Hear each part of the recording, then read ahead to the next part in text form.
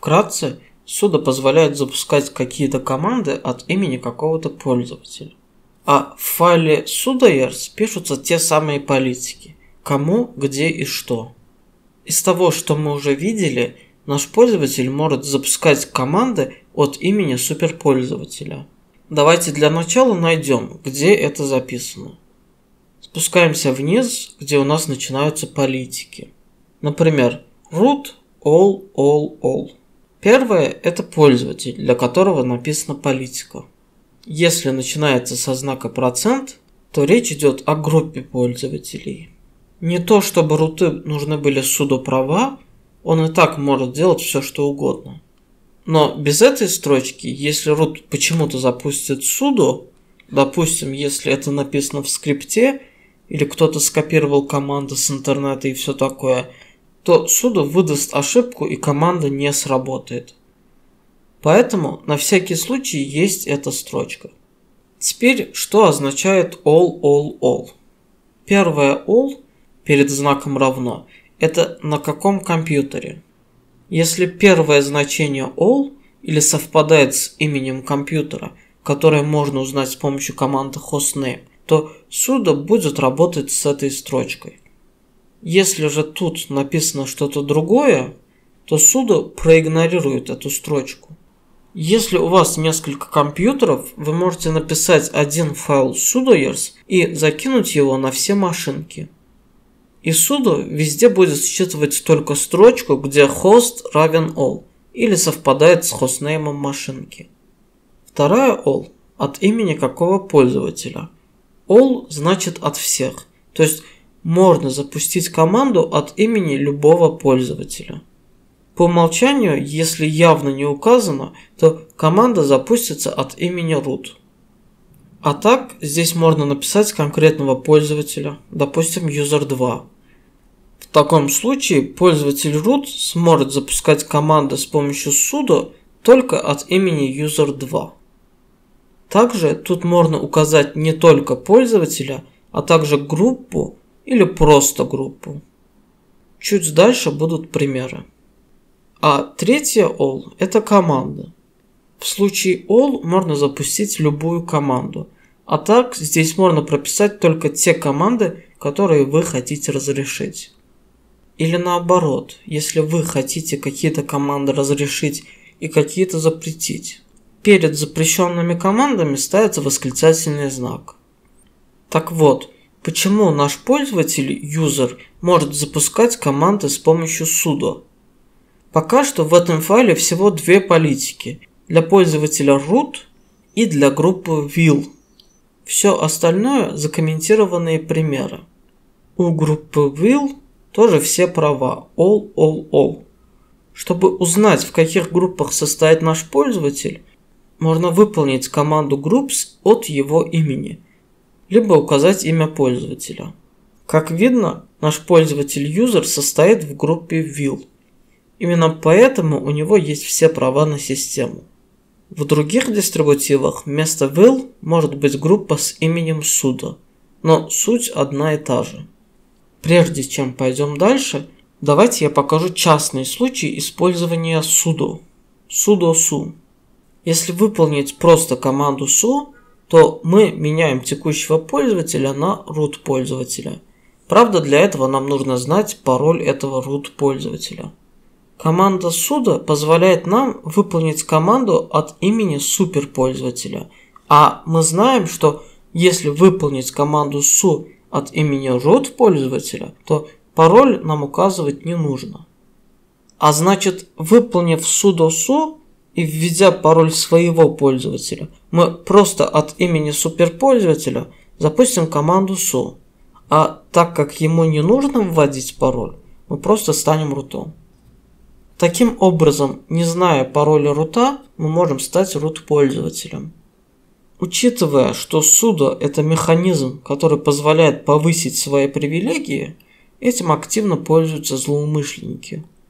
Давайте для примера рассмотрим один из теоретических способов с помощью переменной pass. У меня в переменной pass есть путь home user local bin.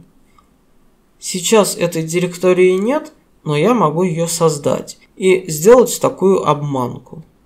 Создать символическую ссылку на su.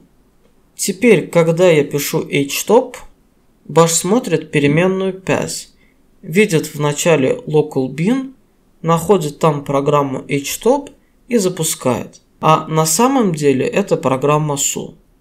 И представьте ситуацию, если мы разрешим пользователю запускать команду htop с правами суперпользователя, допустим, чтобы понижать niceness.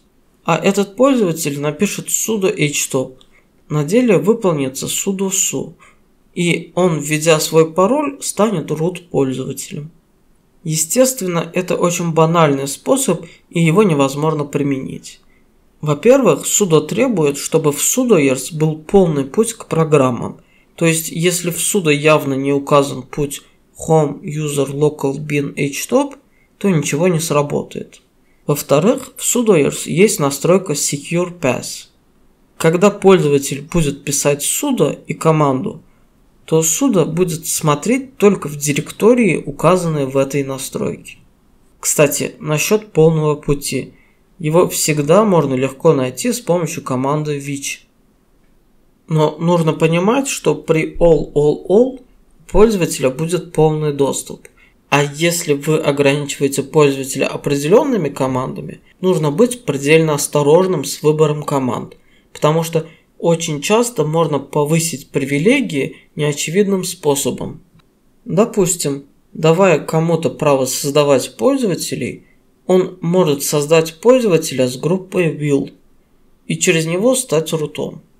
Поэтому прежде чем давать какому-то пользователю права на какую-то программу, следует очень внимательно изучить, что эта программа позволяет сделать. Допустим, тот же less или v позволяют запускать команды, и для них есть специальный ключ, позволяющий предотвратить выполнение сторонних команд. NoExec. Кроме noexec есть еще пара ключей. Один из примечательных но passwd позволяет запускать указанные команды без ввода пароля. Также, чтобы постоянно не вводить sudo, можно предварительно написать sudo s. Также в некоторых случаях люди используют sudo, чтобы предоставить доступ к редактированию каких-то файлов. И хотя лучше в таких случаях использовать права на файлы, ситуации бывают разные. Поэтому у суда есть относительно безопасный способ редактирования файлов с помощью sudo edit. Для примера, давайте предоставлю пользователю user2 право редактировать файл etc passwd с помощью nano. Он вроде бы и не может открыть командой другой файл, но я могу изнутри nano открыть другой файл, допустим тот же sudoers, изменить его и сохранить как etc sudoers, тем самым обеспечив себе все права. Если же в sudoers я пропишу sudo edit, то предыдущая схема не будет работать, потому что принцип работы немножко другой. sudo edit копирует нужный мне файл во временный файл – я редактирую временный файл, а когда сохраняю, sudo edit заменяет нужный файл той копией, которую я изменил.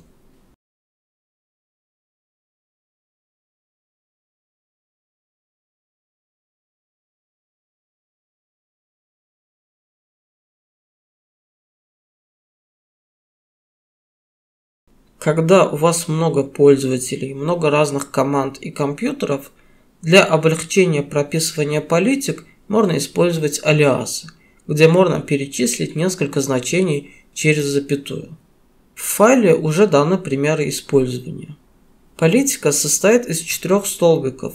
User – это, собственно, пользователь или группа, в которой применяется политика, поэтому алиас называется user алиас. Во втором столбике хостнеймы, поэтому host алиас. Дальше у нас столбик, где указывается, от чьего имени разрешать запускать. Называется runS.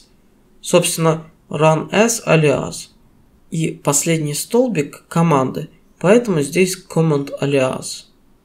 Но и тут пример использования политик с алиасами. Также бывает полезно узнать, кто какие команды вводил с помощью sudo.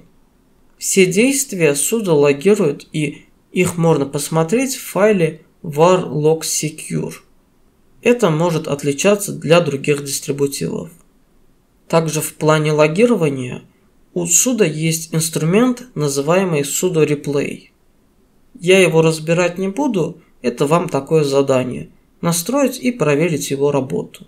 Если будут какие-то сложности, спрашивайте в комментариях. Последняя строчка файла говорит нам, что sudoers будет читать настройки из всех файлов, находящихся внутри директории etc sudoers.d. Для этого нам понадобится указать для vsudo файл. И здесь давайте пропишем, допустим, пользователь user2 может запускать на этой машине от имени рута команду passwd. Тем самым он может менять пароли другим пользователям. Но чтобы он не мог поменять пароль руту, мы пропишем запрет. Ну и еще правило от пользователя. Допустим, чтобы user2 мог от имени пользователя user запускать команду ls. Сохраним и проверим.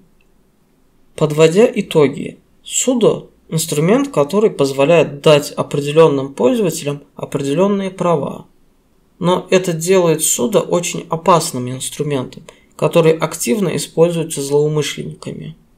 Поэтому нужно запомнить, без острой необходимости пользователей в sudo прописывать не стоит, по крайней мере, если речь идет о правах суперпользователя.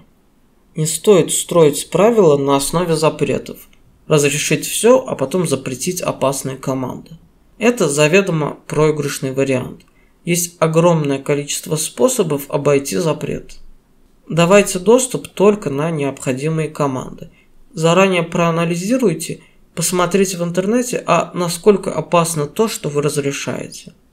В дальнейшем вы научитесь писать скрипты. Так вот, вместо самих команд пишите скрипты – которые выполняют строго заданные функции, и указывайте в sudoers эти скрипты вместо команд. Но и у суда еще много всяких настроек, которые я не рассмотрел, но для основ этого будет достаточно.